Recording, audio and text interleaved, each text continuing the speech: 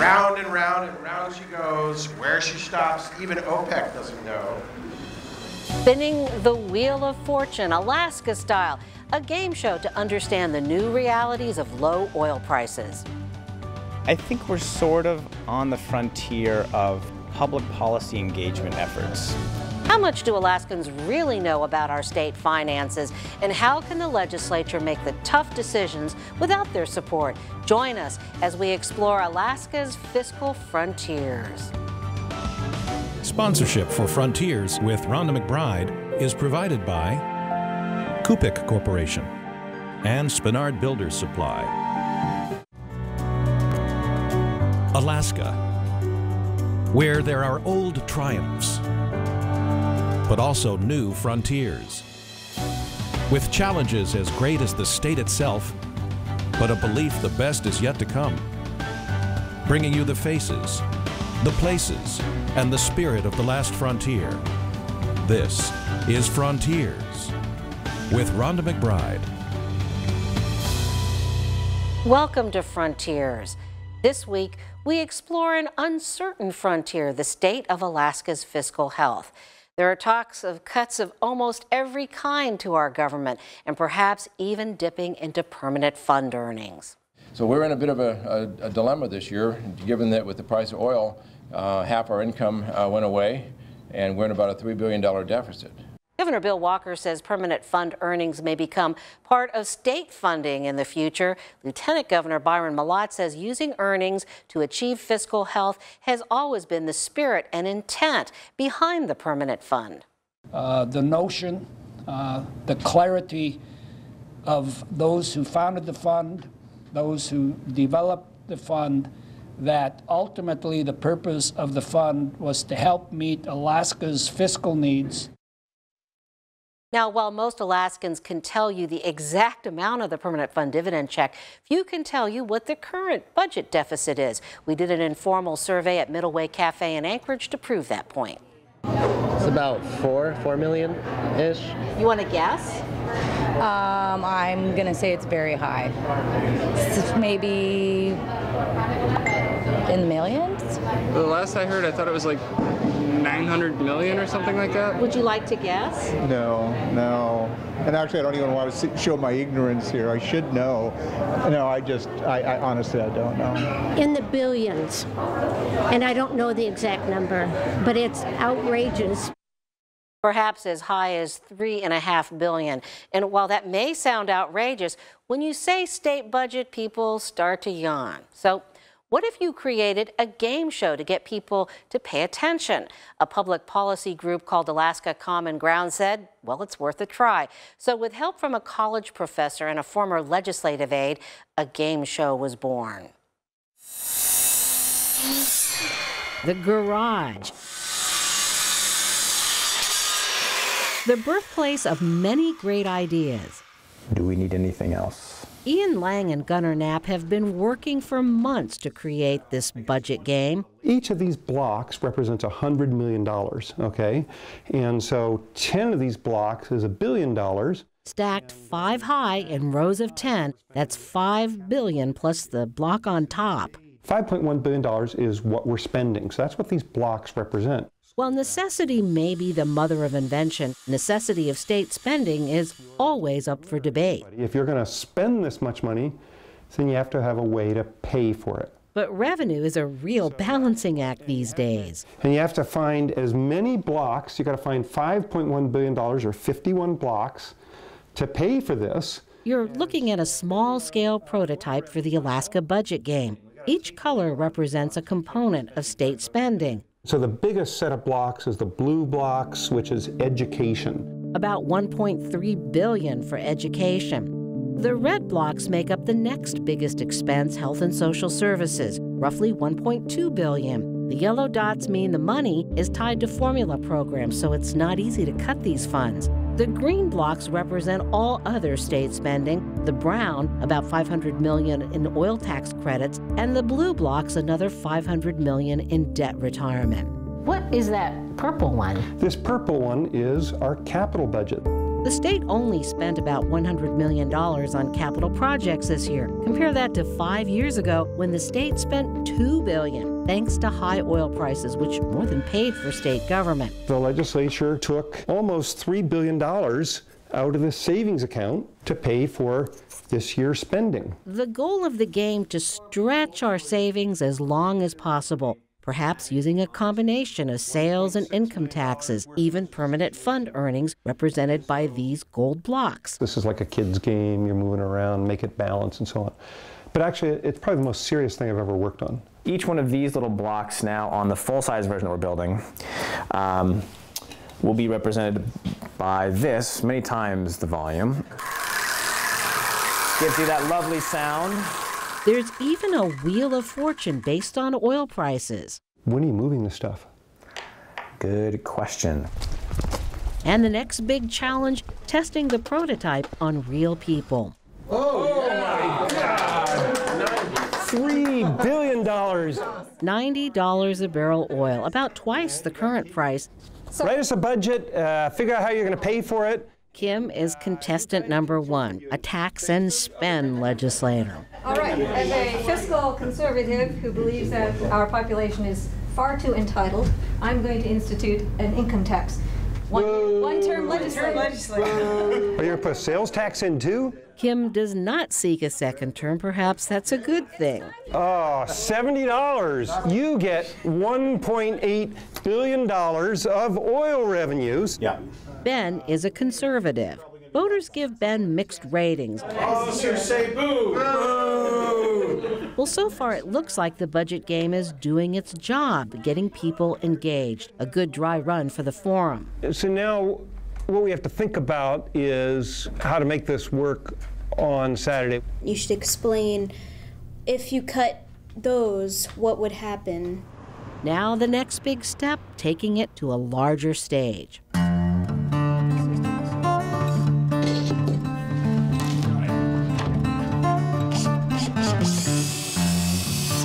Less than 24 hours before the forum. Oh, that is so strangely satisfying. Oh, okay, it's super heavy. Income taxes have never been so fun.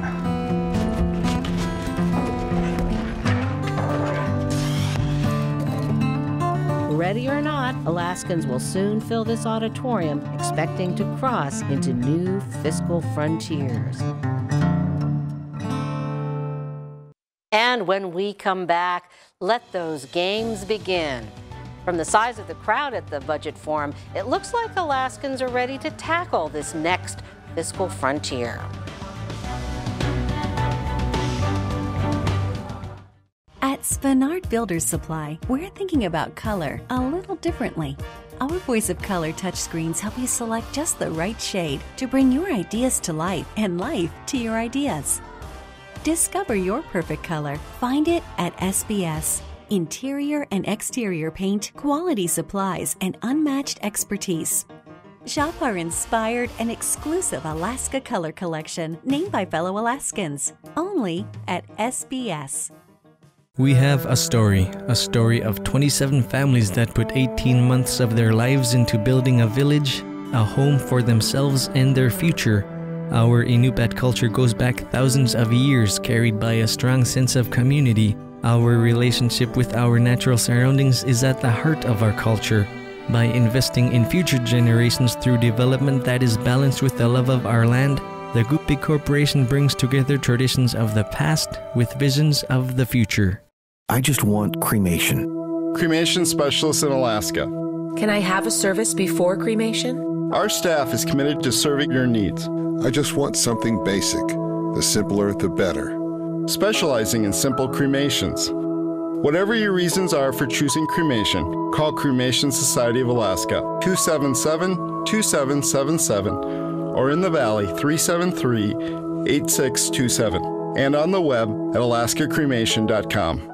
I was really nervous, borderline scared at the starting line at Mount Marathon. And I had done stories about it. I knew the mountain, but these are a whole different breed of runners. These Alaska trail runners, they're serious.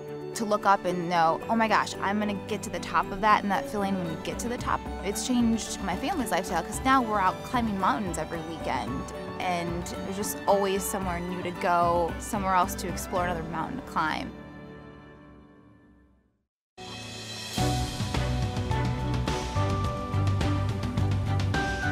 Finance experts say Alaska needs to deal with its budget gap sooner than later because the longer we wait, the harder it gets. It's a game they say that we can't afford to lose. A gorgeous Saturday. Will people care enough to show up?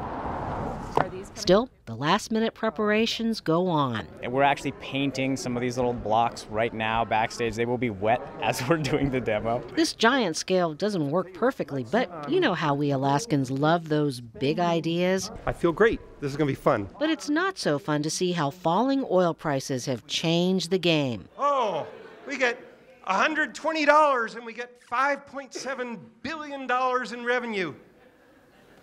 Wait. That's the game we had four years ago. Wrong game. Switch that game out. And now let's spin the lottery, and we're looking at prices. If we're lucky, oh, shoot, $50. Only 1.2 billion. A loss of four and a half billion. Definitely a game changer. Where's Vanna White? The legislature cut the film subsidies, so this is what you get. The first contestant raids the state's savings to close the budget gap. Who wants an income tax? Really? Marijuana taxes? With no new revenues to slow the drain on the constitutional budget reserve, contestant number one fails to get reelected. But you know, we appreciate your public service. It's fiscal year 2018. Still, no rebound in the price of oil. Probably not going to get me reelected, but I'm going to go into formula funding for education. I take one off. I know. Contestant number two also pushes into new fiscal frontiers. A little bit of the retained earnings. I'm Wait, take you're taking my permanent fund? In fiscal year 2019, contestant number three takes more money from permanent fund earnings. You're still cutting more? I'll t- do whatever it takes. It's almost gone. Well, this is the way the world works. You have successfully balanced the budget. Um, could I get you to tell my wife we're not going to Maui next year? Later, Everyone pays a little, so Alaska's working families don't pay a lot. four budget proposals are floated, their merits debated. It's important to make sure, as Alaskans, that we remember where our soul is. Former Attorney General John Havelock wants new sales and income taxes, also elimination of oil tax credits. The audience votes, and his proposal wins. Lawmakers in the crowd aren't sure the results truly reflect what the public wants, but all agree dialogue doesn't hurt. It's terrific that several hundred people took most of their Saturday to come here and listen. It's simplistic, but it gives you that the dramatic side to a very dramatic story. I'm, I'm thinking about budget cuts that we could do. Outside of the Take a little bit out of healthcare. some Service High honor students carry on a debate of their own. Their generation would be hit hard by budget cuts and new taxes, Yeah, it could definitely make things really expensive. which could force many in their generation to leave Alaska. For now, the game is over, the props pushed backstage, out of sight, but hopefully not out of mind. Joining us now, Cliff Groh with Alaska Common Ground, which put on this forum along with the Institute of Social and Economic Research. Did you achieve what you set out to do with this budget game? Yes. We attracted hundreds of Alaskans on a sunny Saturday to come out and uh, learn about uh, all the, the importance and complexities of our fiscal system and our dire fiscal situation. We um, got substantial uh, media coverage so other Alaskans could hear about it both before and after the forum. We were on uh, live TV, and also people can go uh, on the internet uh, and, and watch the 360 North broadcasts um, either as a whole or in chunks. Well, some skeptics say that this is all part of a, a, propaganda campaign to predispose people to raising revenue, having sales taxes, income taxes. Um, Rhonda, there were all kinds of ideas offered um, at that forum and throughout the events that Alaska Common Ground and ISER have done, um, ranging from substantial uh, budget cuts and efficiencies um, uh, beyond those the legislature have already enacted to our state budget, to also including um, as you suggested, uh, perhaps looking at new revenue sources for a state that is the only one in the union that doesn't have uh, a general uh, a, a statewide tax on individuals, as well as also about uh, oil taxes, additional oil taxes, um, and uh, some uh, use of permanent fund earnings so in the lot, budget. lot on the table. Correct. you have an interesting history with the permanent fund dividend program. That's correct. I was lucky enough to be the principal legislative assistant working on the legislation in 1982 that adopted the, permanent, permanent, uh, the, the per capita permanent fund dividend uh, we have today. So, how do you feel, given that perspective, about the possibility of tapping into the earnings of the, of the dividend? Uh, Alaskans seem to think clearly about um, all the uh, options and possibilities the state has, um, including um, uh, using some permanent fund, uh, uh, earn, more permanent fund earnings in the budget, or a substantial amount, as well as thinking about uh, additional budget cuts and efficiencies um, in state spending, and thinking about um, possible new or additional taxes to deal with the deep budget hole and fiscal hole the state of Alaska is standing in right now. Well, one of the comments in the forum I thought was interesting. Liz Medicine Crow said, oh gosh, you know, the state is like a billionaire trying to learn to be a millionaire. Well, I understand some of what she was trying to get at, but as someone who actually grew up, I was first born in the territory of Alaska, and then was, as, a, as a young boy growing up in the, in the, in the 60s in the state of Alaska, um, we had a thin economy then. People felt poor, but we got along okay. And uh, Alaskans are going to need to uh, have some of the resilience um, that they showed uh, uh back uh, in the days before big oil came as the Prudhoe Bay curve continues to decline and oil price, prices look to continue in a substantial, uh, prolonged period of slump. So we're going to be in a world of hurt over the next few years. We, and maybe longer, we need to think clearly about our options and about where we really are. All right. Well, thanks very much, Cliff Groh with Alaska Common Ground. And we will continue our conversation on our website later.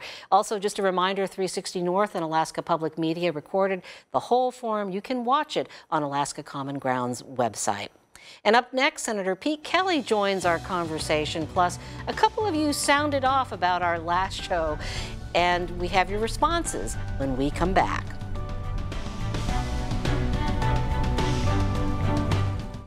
The Alaska Native Tribal Health Consortium provides comprehensive health services for Alaska Native and American Indian people across our state. In addition to world class care at the Alaska Native Medical Center, our work delivers health services for rural Alaska. From cutting edge technology for the best care possible, to modern construction of clean water systems and health clinics, to health training and outreach that honors our culture, our vision is that Alaska Native people are the healthiest people in the world.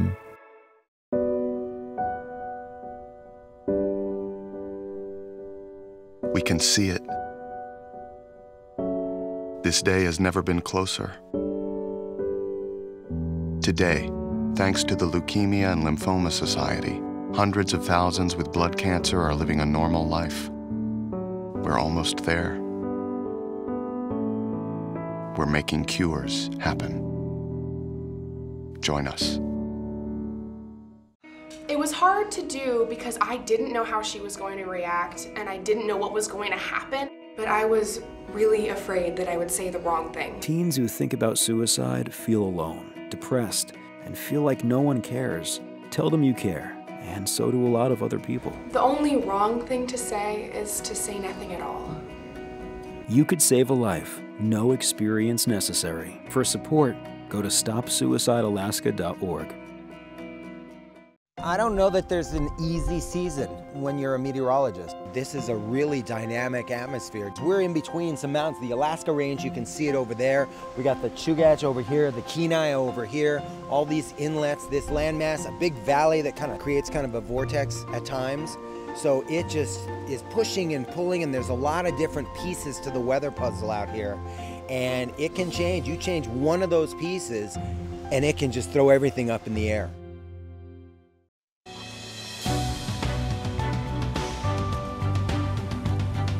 Well, it is not a game to our guest, Senator Pete Kelly, who is co chair of the Senate Finance Committee. I mean, you have dealt with these budget realities. What did you think of the game? Was it too simplistic for you? No, I don't. I don't feel it's appropriate to criticize the game. It's an attempt to tackle a larger problem by people who aren't necessarily uh, involved in government, and I respect that. So last year, the legislature did cut the budget substantially, and uh, people say that uh, in the, your colleagues that it could be cut some more. You think so? Well, it has to be cut some more. Unfortunately, it's a it's a tough job to do, but over the years, it grew when we had some money and when we uh, started looking at it with maybe a higher level of scrutiny back in 2013, we began to cut it. This year, we cut um, about 400 million, maybe 300 million from the day-to-day operations and about 400 million from the capital budget. So we had a legitimate cut of nearly $800 million. Actually, our legislative finance people say that you could you could call it a billion, but uh, How much do you want to cut? How much well, more? It, it's it's an exercise that we have to go through to make government smaller, because uh, there are a lot of people in this state, hardworking people who who don't necessarily get a check from the government, and they don't want us necessarily to start taxing them bec- before we have done everything we can to cut government. I don't. I, I couldn't tell you an exact number because the price of oil keeps going up and down. Well, let's talk a little bit about that oil revenues. I mean, if we have sustained low prices, you know, what do you foresee? How do you how do you expect to? We've got a budget that's about five billion mm-hmm.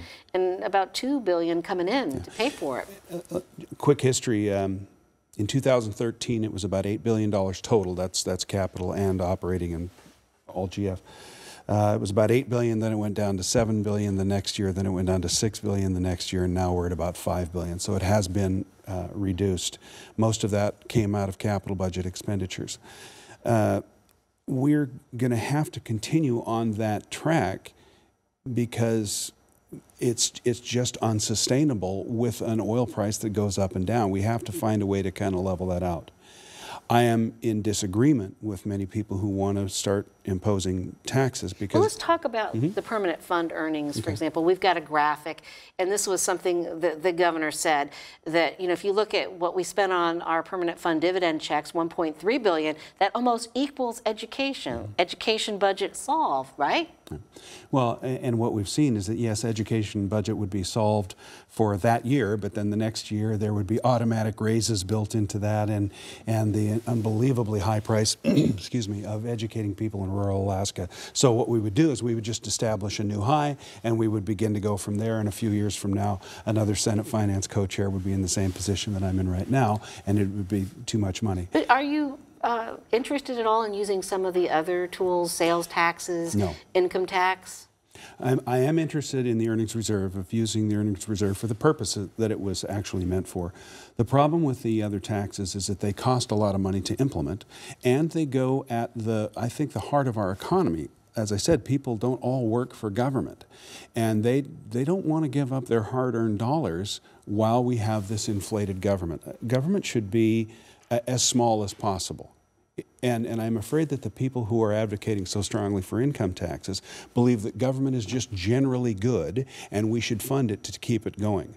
But there are a lot of people in the legislature, a lot, a lot of people in the state that believe that we should have a very small government, that it should only do what we need it to do and then fund it You know, but at some of your hearings this past Mm-hmm. session, uh, lawmakers were told that, you know, government in Alaska is inherently expensive. We have huge geographic distances. We are a new state with new infrastructure needs. And we, we just have to kind of right size it. And, and I, I'm just wondering, looking at that budget uh, model that they had, doesn't look like there's too much to cut. Well, if you look at some of the drivers that are in the budget that, that no one ever even sees, shot through the budget, are automatic pay increases, not for any kind of merit or anything like that. It just goes up and up and up every single year. We have a STEP program in there, we have COLAs in there, and, and negotiated pay, pay raises. We have um, uh, uh, travel budgets that, again, we've cut them as much as we can. There probably could use some more cuts, but we could go to electronic uh, medium to, to do our meetings and, and those kinds you of mentioned travel budgets. Things. You mentioned Mhm. that, and boy, the legislature has gotten some heat for Yeah. some travel to Seattle, 90,000 plus. Frankly, uh, I, I don't have a lot of sympathy for the people that are getting hammered on that. I think the legislature needs to travel, and I think there's a tendency, particularly by one of the newspapers, to, to pick at every single thing we do, as, as if every expense that the legislature makes is bad because we're in such a, a budget crisis. Well, but the fact heat, is, though. the fact is, this uh, that that particular criticism, that num number of staffers going to a uh, uh, a legislative uh, function, I, I think was uh, inexcusable. Well, we're just about out- of time, but, but, but, but Rhonda, that, that's not what we're talking about here. We're talking about significant numbers, uh, and, and the legislature needs to look at itself, but it has to go and make some of the tough decisions on some of those formula programs because a lot of people in this state are saying, you, you want to tax us? Maybe. But you're not going to do it before you cut that budget some more. And the earnings reserve allows everybody, the earnings reserve of the permanent fund, allows us to pay a dividend, but it also allows everybody per- to participate in the size of government. just a quick question here. Mm-hmm. Uh, the legislature is spending money. $400,000 to challenge uh, the governor's decision to expand Medicaid. That seems like a lot of money in these tight times. a $400,000 uh, cost to defend a, an entire branch of government, which is the people's branch of government. I don't, I don't have a big problem with it. We have, we're going to always have those kinds of lawsuits. They are a part of running a representative government. Uh, the fact is, is that we could just allow the the king, and I don't say that disparagingly, but the, the founding fathers said, we don't want a king, we don't want an executive so strong that they just walk right over the people. Uh, we've got to defend our branch of government. All right, well, Pete Kelly, thank you for Mm-hmm. joining us, uh, coming all the way from Fairbanks. Well, we do have some comments to share with you about our show on the Permanent Fund Dividend last week. Mary Margaret Hillstrand sent us an email telling us about her father, Earl Hillstrand, an Anchorage lawmaker who worked on PFD legislation. And she writes, Dad told everyone that the PFD is a reminder to us Alaskans that we are landowners with responsibility to be good stewards of our resources. It's not a freebie. And we got a call from a concerned viewer about duck hunting footage that we aired last week showing shots fired from a moving boat. Well, we checked with state regulations, and our caller was right no shooting from a motorized moving boat. And we have more information about the rules. We have links posted on the Frontier section of KTVA.com. Look under episode 21 for that. Well, we Alaskans never seem to run out of new frontiers, whether it's fiscal or otherwise. We want to thank you for joining us. And as we always say, you find your own frontier.